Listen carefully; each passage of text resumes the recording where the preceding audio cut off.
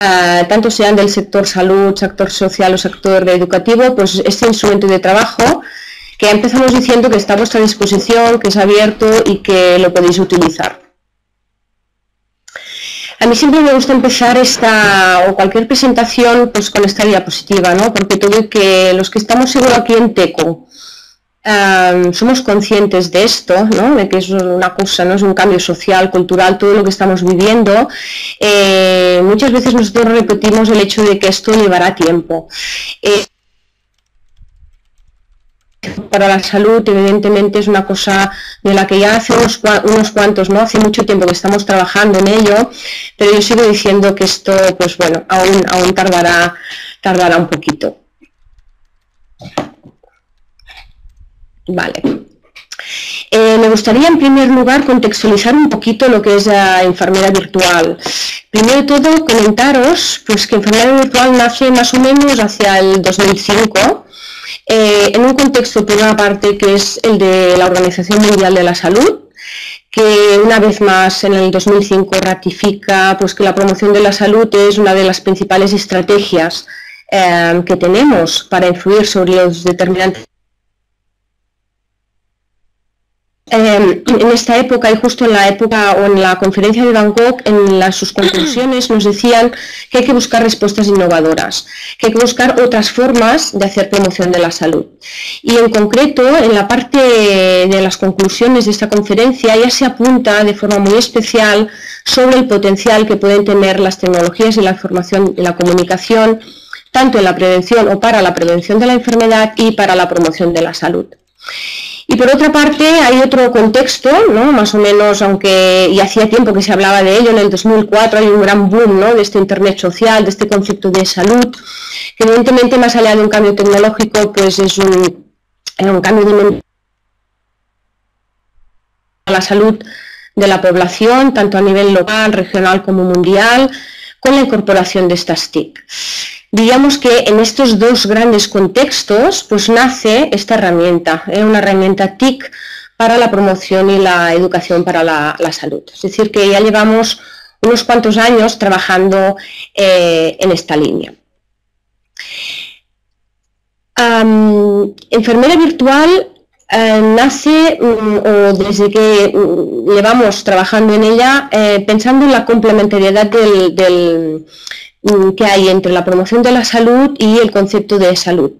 Y sobre todo entre la complementariedad que hay entre la educación para la recursos para promocionar la salud de las personas. De hecho, mm, habíamos preparado la diapositiva, se ve el niño mm, aquí enseguida, pero hay toda una serie de conceptos, de infinitivos de palabras claves, como pueden ser el diálogo, el compartir, el proceso, la participación, toda una serie de conceptos que tanto pueden definir la educación para la salud como la web 2.0. Y esto nos hizo pensar en su día y seguimos pensando que hace que sean dos recursos ideales y complementarios para empoderar al usuario. ¿eh? De hecho, el niño, ¿eh? este niño que sale con esta fuerza, pues ya muestra pues, este, este, este poder. ¿no? Enfermera virtual, como os he comentado, nace en el 2005, empezamos a trabajar en el 2005 pero más o menos es en el 2009 cuando se pone en línea. Y ah, antes ya de ponerla en línea, eh, empezamos a, o ya hicimos una primera prueba piloto. Una prueba piloto en la que 300 ah, enfermeras y unos 300 usuarios ya probaron la web, estuvieron mm, durante dos meses pues trabajando con ella y ya nos dieron sus primeras ah, opiniones e impresiones. Mm, desde el 2009 que la pusimos en línea y empezamos a cambiarla. ¿eh? Hasta ahora, el 1 de mayo, como muchos de vosotros sabréis, pues enfermera... Eh,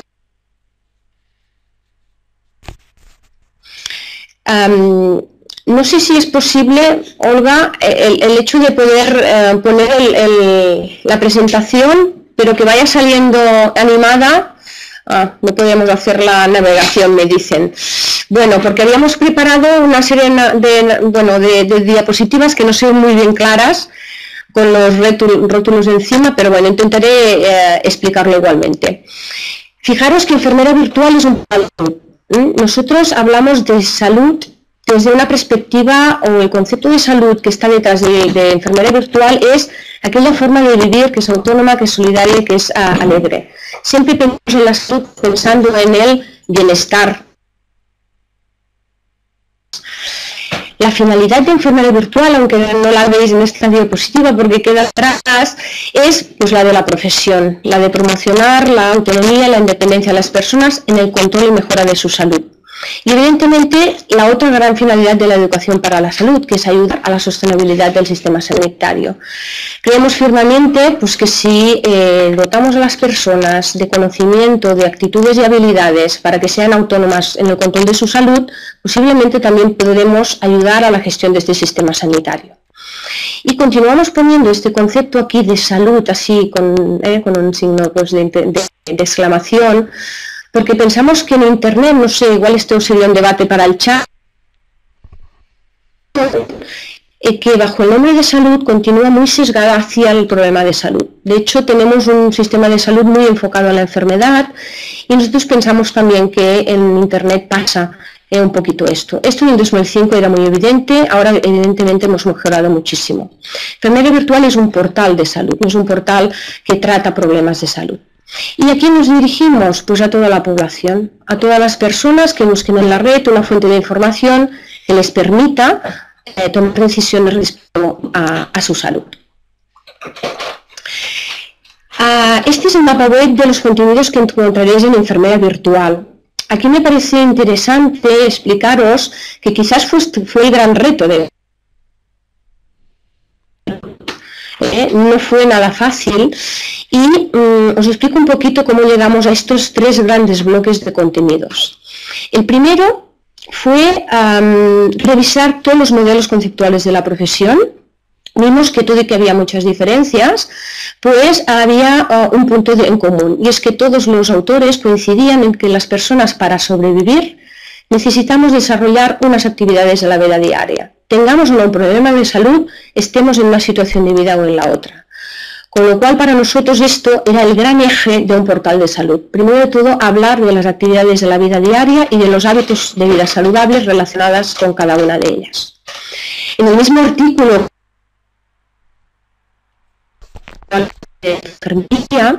nos hablaba que evidentemente en función de la situación de vida en la que nos encontremos de si la persona tiene un problema de salud, va a tener que adaptar los hábitos de vida de cada una de las actividades de la vida diaria.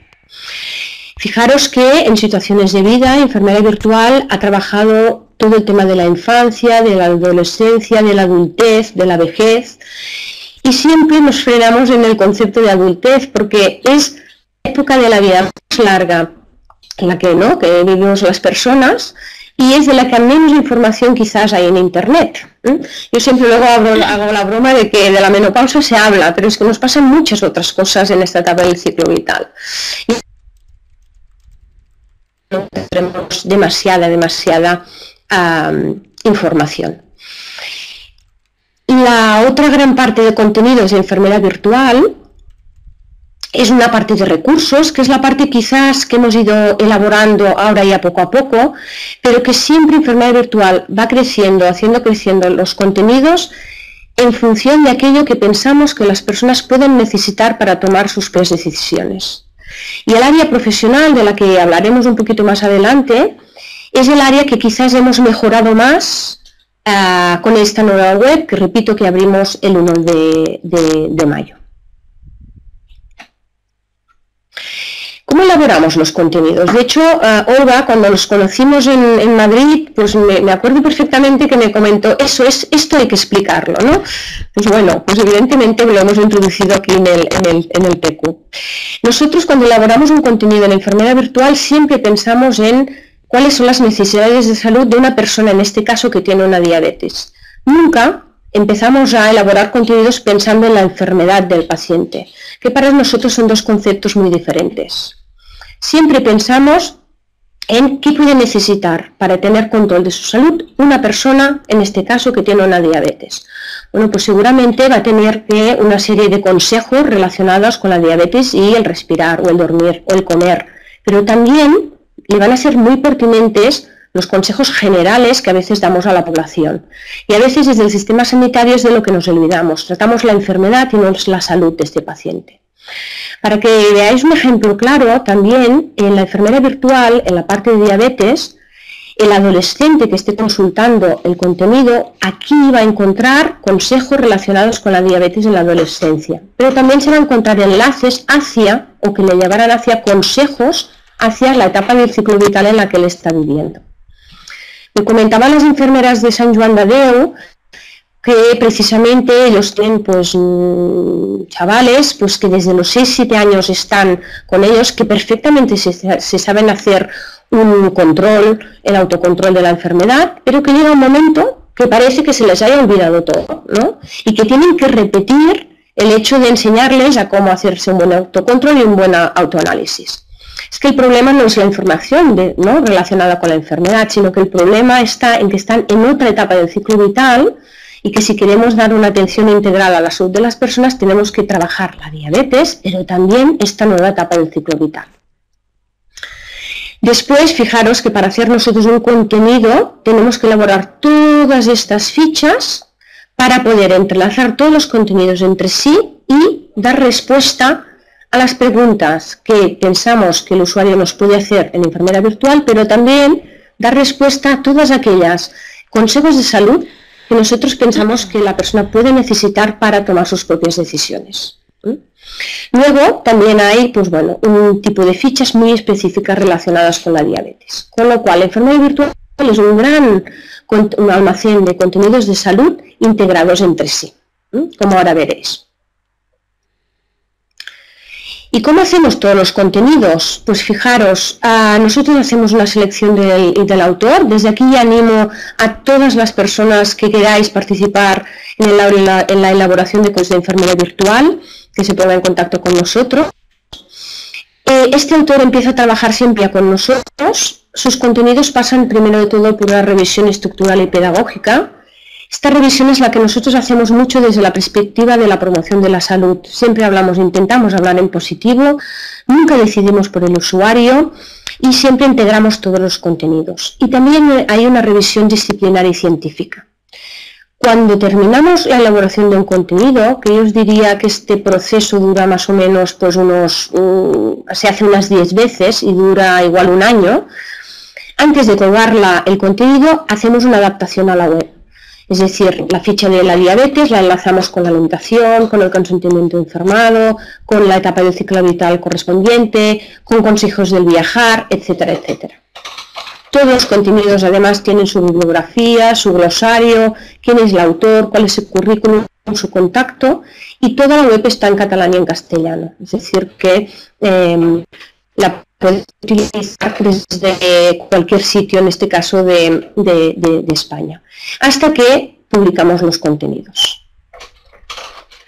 Espero que se vaya entendiendo, porque como no tengo la presentación animada, pues me parece que, igual voy muy, muy deprisa. Hemos llegado ya, pues, os he explicado un poquito cómo se gestan los contenidos de enfermera virtual pero enfermera virtual, como os he dicho al inicio, es una herramienta de trabajo. Es una herramienta de trabajo para cualquier profesional de la salud que esté implicado en la educación de la salud de las personas.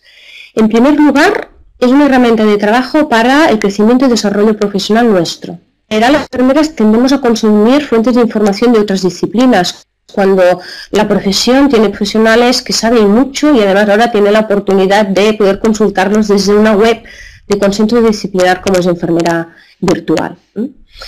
Pero, sobre todo, y cuando tiene mayor poder enfermera virtual, es cuando la enfermera la utiliza, enfermera y cualquier persona de la salud, ¿eh?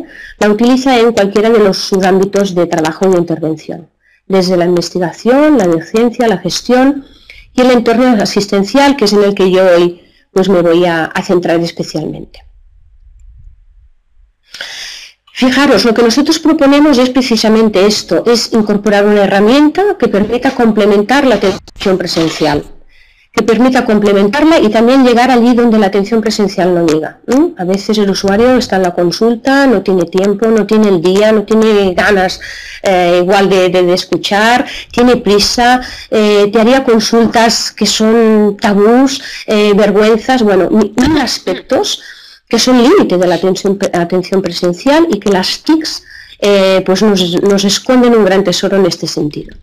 Esto es una situación real, las enfermeras, en este caso comadronas de, de aquí de un CAP de Barcelona, utilizan la enfermera virtual habitualmente y la utilizan en la atención a las personas o las mujeres embarazadas. Trabajan con ellas, en este caso es una situación del segundo, eh, trimestre de embarazo.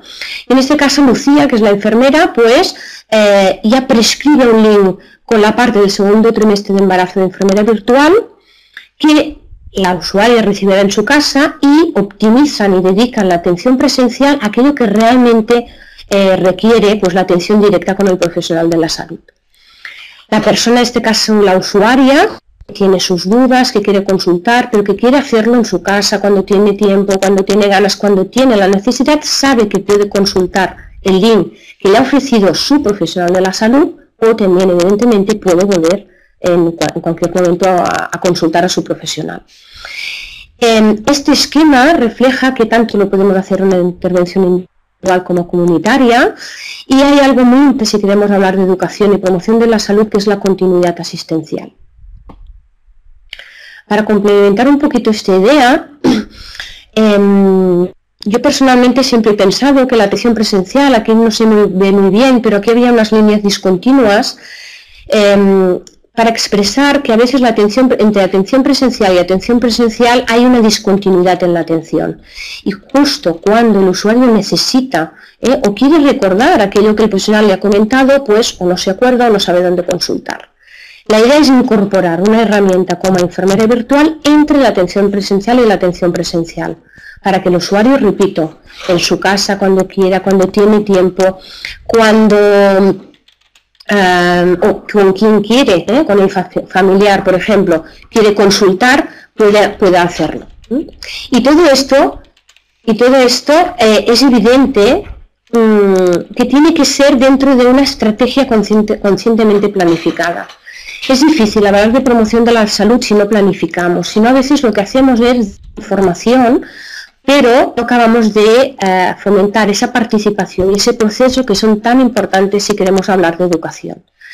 Y en este sentido, nosotros eh, vamos trabajando para implementar enfermera virtual dentro de los programas eh, que ya existen y con los que trabajan los profesionales de la salud, como por ejemplo el programa de prevención y atención a las personas con enfermedades crónicas, o el programa del niño sano, o el programa de Sanidad Responde, que aquí en, Cataluña pues eh, funciona, lo llevan enfermeras y como la prescripción de un link de enfermera virtual puede complementar mucho lo que es la atención o el consejo telefónico. Vamos a ver si puedo hacer la navegación, os la iré explicando para ver un ejemplo práctico de cómo se puede utilizar pues, virtual en la consulta. En primer lugar, enseñaros pues, la, nueva home de enfermedad virtual. ¿eh? Hace poco pues, no era así. Veis aquí las grandes entradas o bloques de contenidos que os, he comentado. En la parte central siempre habrá que estar aquellas partes destacadas. Aquí luego os podemos hablar un poco de ello, pero hemos iniciado una propuesta interesante que es ser promotores de salud de los congresos. Y sobre todo, sobre todo, hemos potenciado mucho la incorporación de los tutoriales de salud, que os animo mañana o cuando os apetezca, pues consultarlos y visitarlos, pero que ahora hablaremos de ellos. Supongo que se oye bien. Vale. ¿Eh? Vale. Uy, espera. si podemos volver un poquito para atrás. No. Bueno a ver, comentaros. Comentaros que enfermedad virtual tiene la estructura de unas fichas. Las fichas tienen. un segundo. Vale ahora he descubierto esto para, hacer las, las, señales, pero bueno, se han saltado unas cuantas diapositivas, pero yo creo que, podremos igualmente explicar pues, cómo utilizar enfermedad virtual. Si entráis en enfermedad virtual veréis que todas las fichas tienen la misma estructura. ¿eh? En este caso hemos entrado en la ficha del cáncer y siempre eh, eh, entramos en los contenidos por los consejos de la enfermera y damos los consejos de la enfermera relacionados con cada una de las actividades de la vida diaria. Estos contenidos si nosotros eh, queremos, los podemos compartir uno a uno. Y si los compartimos, ahora es lo que nos puedo enseñar, pues se abre eh, la posibilidad de recomendar por correo electrónico, con un, con, un, esquema como el que estáis viendo ahora, recomendar el contenido por mail, que lo podemos recomendar al usuario con el que estamos trabajando.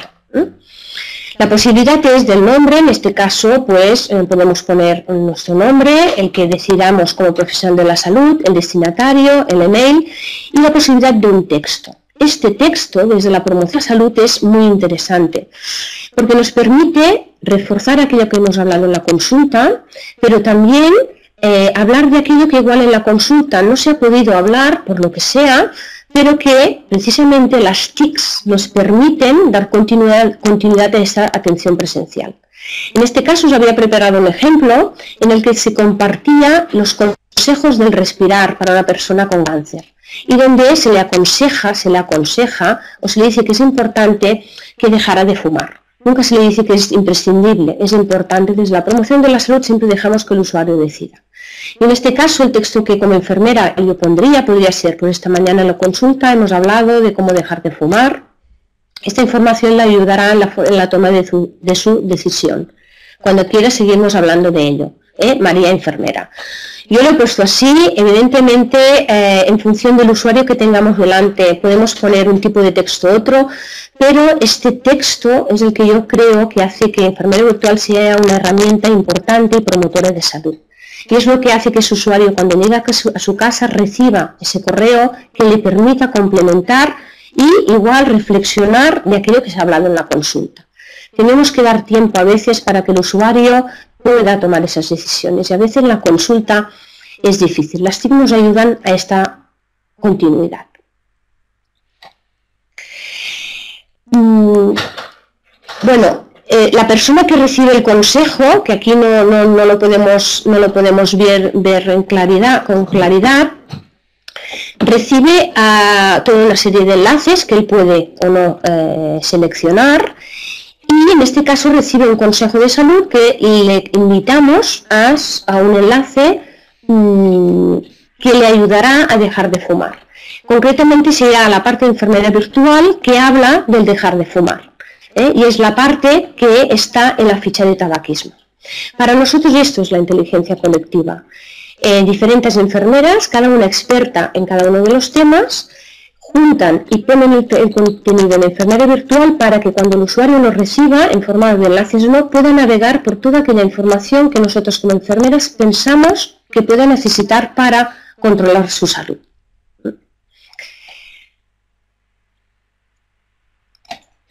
Vale. Bueno, esta sí que yo creo, que me permitirá explicaros muy bien. Eh, mí, em, bueno, la parte quizás más importante de enfermera virtual. Somos conscientes que enfermera virtual, pero así lo hemos tenido que hacer. Hemos estado trabajando durante mucho tiempo estos contenidos y ahora lo que estamos haciendo es adaptar los contenidos para el ciudadano. Y lo hacemos básicamente a través de los tutoriales de salud. Lo que hacemos es preguntar a las enfermeras y os invito a que si navegáis por enfermera virtual y si os ocurren tutoriales os pongáis en contacto con nosotros y en este caso les preguntamos a, a las enfermeras del Instituto Catalán de Oncología cuáles son las principales dudas y preguntas que hay en la consulta y cuál es aquella información que ellas como enfermeras o médicos darían al usuario y a veces la atención presencial no lo permite. Y nos decían, pues mira, cuando una persona acaba de diagnosticar cáncer, nosotros creemos que lo que primero se, pregunta es ¿por qué yo? ¿Por a mí? ¿Me voy a morir? ¿Tendré dolor? ¿Cómo hablo con mi, con mi familia, con mis amigos y con mis hijos? ¿Cómo obtener información sobre la enfermedad?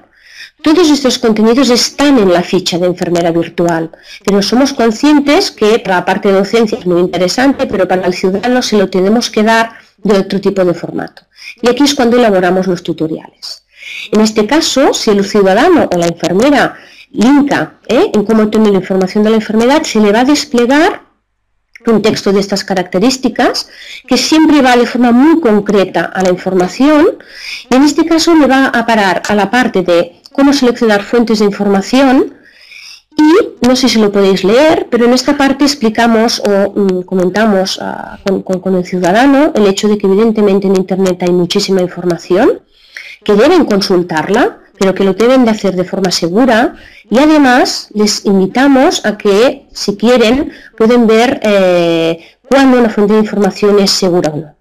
Fijaros que en este texto tratamos lo que son conocimientos, tratamos lo que son actitudes y, tratamos también lo que son edades, lo que es fundamental por si queremos hablar de educación y promoción para la salud.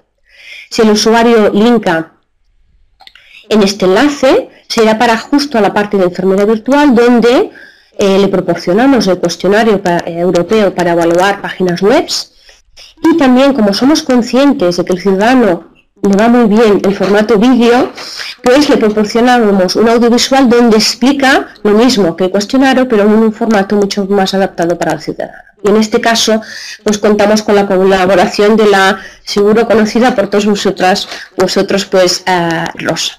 Vamos insertando los vídeos, sobre todo para complementar lo que es el, texto ¿eh? y mejorar la comprensión del usuario.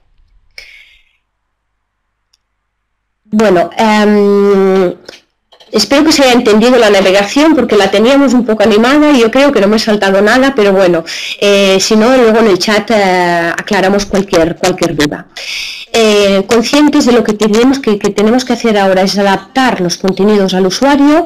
Básicamente lo que estamos haciendo son los tutoriales de salud. Ficha, cada contenido tiene su tutorial. Aquí, por ejemplo, tenéis el tutorial del cáncer. El ciudadano no tiene que buscar por toda la enfermedad virtual, tiene que ir directamente a la parte de la ficha que busca y allí va a encontrar los tutoriales con la mayoría de respuestas que le pueden ayudar a tomar decisiones acerca de su salud. Y también aquí está la herramienta para el profesional, porque el profesional puede compartir consejo por consejo con el ciudadano. También estamos elaborando toda la parte de tablas, toda la parte de formatos mucho más visibles y de resúmenes. También estamos trabajando con diferentes personas del formato audiovisual, también hemos incorporado ahora la parte de la fotografía, en este caso con la colaboración de Maite Castillo, porque una imagen muchas veces nos puede dar mucha información al lado de un texto. También hemos empezado a hacer todo lo que es el formato con infografía, que lo que nos permite es completar mucho, mucho, mucho el consejo, eh, pero con el formato de, eh, con el formato de la infografía. Y finalmente, ya os dejo pues, con Marc Fortes, que es la persona pues, sobre todo encargada ¿eh? de la dinamización de todas las redes sociales. Hacemos, pero sobre todo siempre es lo que nosotros nos de transmitir, con una estrategia muy planificada, cómo podemos hacer llegar el contenido, el conocimiento, los consejos de salud a través de las redes sociales. Cómo se puede hacer promoción y educación para la salud a través de las redes sociales. Y ahora hacemos un cambio y Marc, ah, os dejo con Marc. Buenas noches. Bueno, no, no quería empezar el TECU sin, sin saludar a mi madre. Vamos, estoy en el TECU. Eh, bueno, vamos al lío. Eh, prometo no mirar el chat. Vamos a ver. Bueno, yo os voy a contar un poco sobre nuestra estrategia en redes sociales. En principio, os voy a empezar hablando de YouTube. Eh, la tenemos como red social integrada dentro del web. Eh, ya, no, no, he podido cumplirlo, ya he mirado el chat. Eh, me ha salvado mi madre. entonces, bueno, os, os, comento, YouTube lo tenemos integrado dentro de la red de la enfermedad virtual y de este modo le podemos dar pues este, este contrasentido de, de 2.0 integrado en una, en una web 1.0. Eh, utilizamos pues todas las funcionalidades de, YouTube eh, que podemos que podemos encontrar ¿eh? desde los embeds de los propios links dentro de los vídeos a bueno todas las funcionalidades que ya que ya habéis conocer de sobra continuamos con con Twitter así conocido por todos los que los que frecuentáis el TECU seguro eh, bueno, en esta red social tenemos una, máxima que intentamos cumplir siempre que podemos, que es eh, promoción de la salud eh, diaria. ponemos un tweet cada día en catalán y castellano de manera bilingüe, en el que de manera programada pues aportamos un consejo de salud para, para los usuarios. Evidentemente esto puede cambiar, la programación y, y todo lo que, lo que se realiza. intentamos pues adaptarnos a, lo que ocurre. Por ejemplo, el tweet que tenéis aquí a modo de ejemplo eh, es del 18 de octubre cuando hubo un caso de, bullying, el de Amanda Todd. Bueno, pues nosotros eh, introducimos este consejo bueno, pues para, para la ciudadanía, la gente que estaba preocupada sobre el tema. Y como tenemos este contenido en la enfermedad virtual, pues intentamos dar respuesta con él. Aparte de todo esto, en Twitter, aparte de, pues generar contenido, de, generar conversación, de participar, eh, lo que hacemos también es mm, crear un ambiente para que los usuarios profesionales eh, entren a, Twitter, a la red social, y se encuentren a gusto. Por ejemplo, les proporcionamos las listas de la enfermedad virtual, pues intentamos tenerlas lo máximo actualizadas posible, pues con usuarios, enfermeras, profesionales de salud, centros, asociaciones de, pacientes. Podéis entrar y, mirar nuestras listas a ver qué os parecen. Evidentemente, si tenéis sugerencias o nos hemos dejado a alguien, pero que no, pero si nos hemos dejado a alguien, pues lo, lo colocamos, no lo decís y listo. Em, sobre, sobre Twitter, más o menos creo que si tenéis alguna duda o lo que sea, pues podemos comentar. Pero vaya, creo que queda bastante claro. Facebook, pues acabamos de, aterrizar, como aquel que dice, hace un mes justo. Y bueno, en Facebook intentamos eh, generar un contenido distinto al de Twitter. Por razones obvias, tenemos más de 140 caracteres, pues entonces los, los aprovechamos y intentamos eh, generar el consejo de salud entero eh, con, todo, con todo su contenido eh, apoyarlo con imágenes, como comentaba antes Giselle, eh, pues eh, con la colaboración de, otras enfermeras o, en general de, toda la comunidad.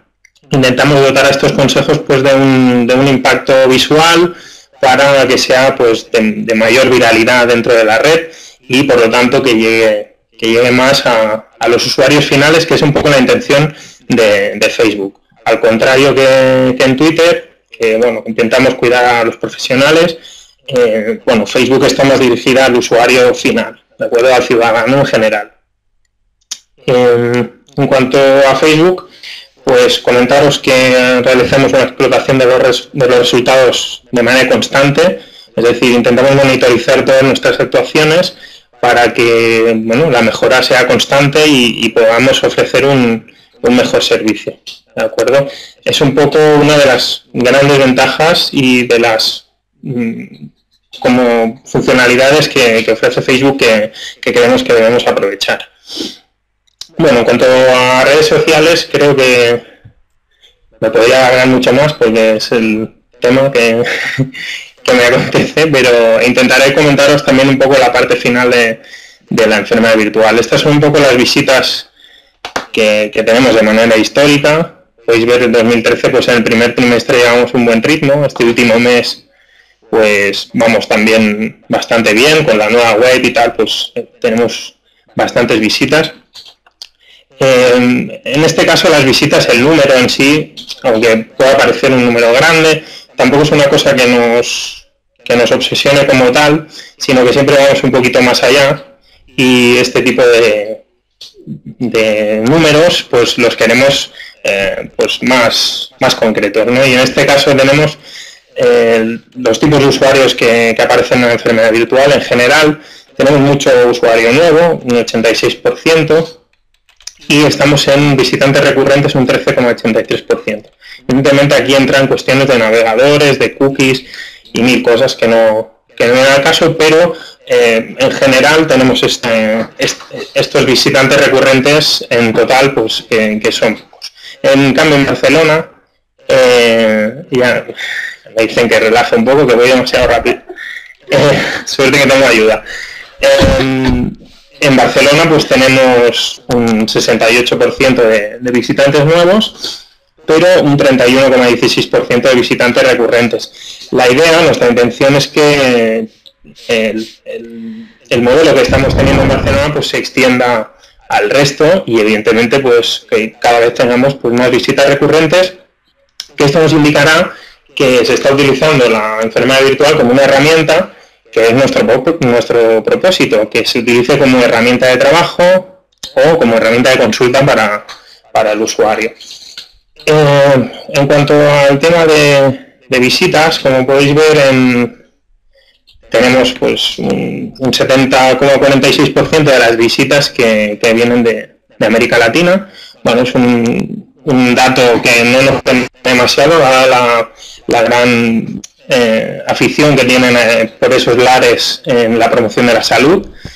Y en el resto de, Europa pues tenemos eh, un 98% de las visitas en España, de las cuales el 51% en Cataluña y de este 51 41 en Barcelona.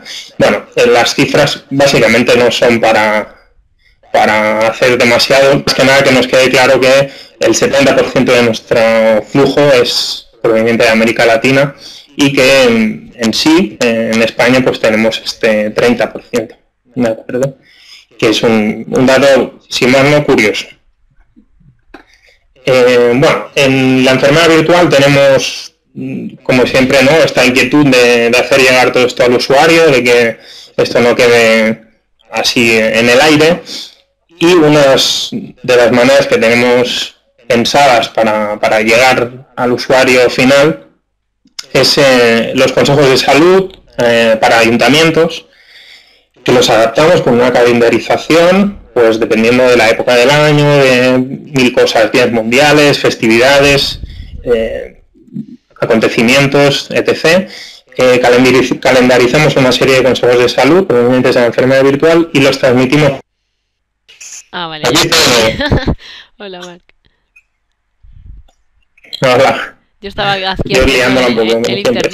El, el, tema de, los ayuntamientos creo que ha quedado bastante claro. Si luego queréis comentar alguna cosa, pues o ampliamos eh, un poquito sobre el funcionamiento de, este servicio.